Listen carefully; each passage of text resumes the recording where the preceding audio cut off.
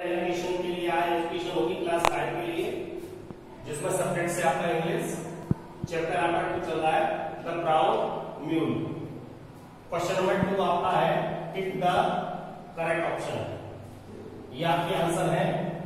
पहले में आप आंसर करेंगे सेकंड नंबर दूसरे बी नंबर में आप आंसर करेंगे फ़र्स्ट नंबर तीसरे सी नंबर के लिए आपका आंसर होगा सेकंड नंबर ठीक है?